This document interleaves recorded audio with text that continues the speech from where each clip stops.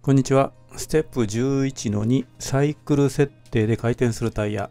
こちら、アニメーションの設定をお送りします。まず、この部分ですね、タイムスライダー。実際に時間の流れが、表示されます。そして、この部分、スライダーの最大値設定ですね。何フレームの編集を行うか。このバー、ダブルクリックすると最大表示になります。こちらがフレームレート。1秒あたり何フレームを消費するか。初期値では 24fps に設定されていますが、最近の、まあ、動画ですね、えーこういったものは 30fps、基本 30fps で良いでしょう。えーそれからここの部分が再生時のスピードですね。リアルタイム再生にしておくと、おおむね完成のイメージで、えーアニメーションが再生されます。え次に、えトーラスを作成します。えこれからアニメーション作ってみますが、それに使うトーラス、えタイヤに見立ててトーラスを作成します。えトーラスの設定、え直径がありますので、少し、え最初寝ているものを立てたり、それから上に移動したり、地面に設置させたり、そういった設定を行います。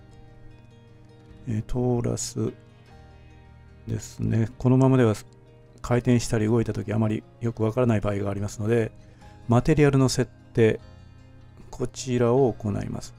マテリアルの設定でカラーのこのチェック柄、えー最初から用意されているチェッカーと言われるこの、えープロシージャルテクスチャーですね。こちらを設定しておきます。もう簡易に、えー柄をつけて回転したり動いたとき分かりやすいように設定しておきますね。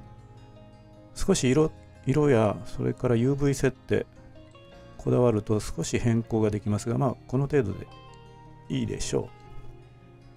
まずアニメーションというのはですね、え 3DCG のアニメーションはキーフレームこれを設定します、えキーフレーム動きが設定されたキーになる、えフレームを設定してもう一つ別のキーフレームを設定することによってその間の動きが、え作成されると。まず第1フレームこのアニメーションの例では第1フレームに1のキーフレームを設定しました。そして60フレームですね。30fps なので2秒後の1にキーフレームこちらを設定して再生を行ったと。これで非常に単純ではありますが移動のアニメーションが作成できました。次にこれを回転させてみましょう。考え方は同じで、まず、え第1フレームですね。こちらに、え回転方向を確認しながら、場所を確認してキーフレームを設定します。え0に設定した状態でキーフレームを設定して、次に、え今回30フレーム、1秒後にマイナス360、え1回転するようにキーフレームを設定します。えこれですでに回転しながら移動するといったアニメーションが作成できました。実際、えー動画を再生するとこんな感じですね。しかしこのままでは30フレーム以降が回転が止まってしまいますね。これを繰り返し回転設定します。サイクルと呼ばれる設定です。そのためにグラフエディター、こちらを表示しましょう。グラフエディター、見た目は、こんな感じで、ちょっと、ちょっと敷居が高そうですが、まずこの、え赤い線ですね。これは移動です。そして、えーブルーの線。こちらが回転。途中で止まっていますね。30フレームで止まっている。この回転を、サイクル設定を行って、えー何回も繰り返しで表示されるようにします。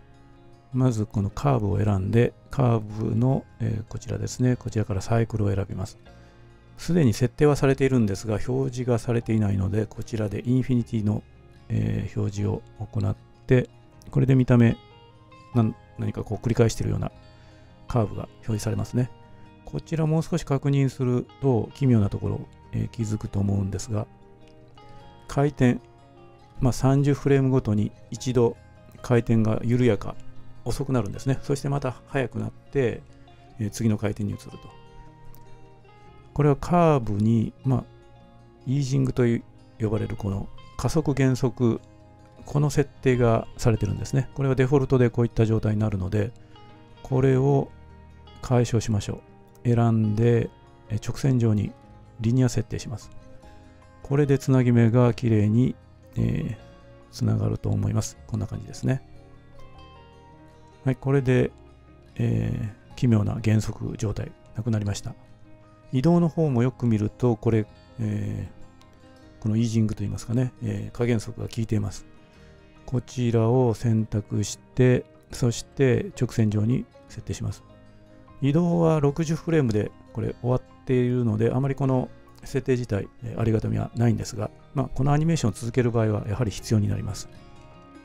はい、えー、今回は簡単ではありますがアニメーションの基本設定、えー、こちらをお送りしました。